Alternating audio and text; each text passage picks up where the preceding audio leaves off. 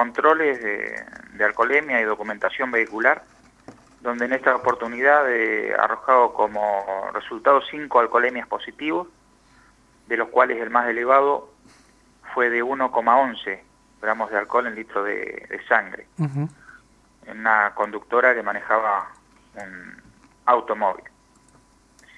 Eh, en cuanto a eventos, hemos tenido eventos en diferentes eh, sectores cubiertos por, por tránsito y bueno, lo que se notó es que lo que fue en horarios de madrugada y nocturno, muy escaso tránsito vehicular.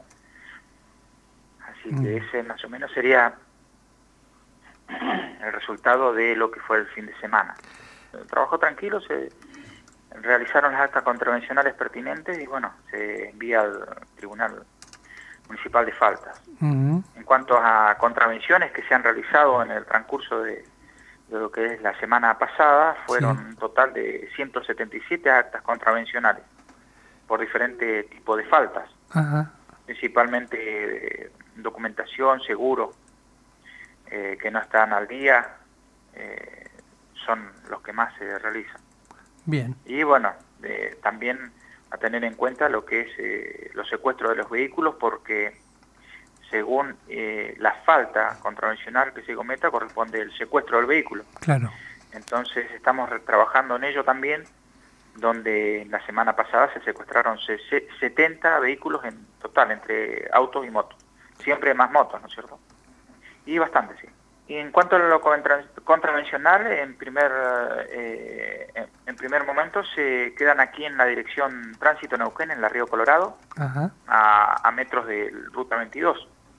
Y si no son retirados, ya son llevados al predio Parque Industrial, donde allí, conforme cierto tiempo, eh, se requiere la compactación por parte del tribunal. Claro, bueno, aquí en, lo que es en el, en el predio en sí de la Dirección Tránsito Neuquén existen más de, de 2.000 motos secuestradas. Hay un manto de motocicletas. En el predio, después, eh, o sea, en el predio de la Dirección Tránsito Neuquén. Después arriba en el predio ya que hay motos de, de años anteriores y mucho más. Pero aquí, eh, digamos, manejamos un stock de entre 2.000 y 2.500 motos más o menos y ellos se van llevando ya, a, medida que pasa el tiempo, eh, se van transportando al parque industrial. Y ahí, bueno, se determina si va a compactación o no.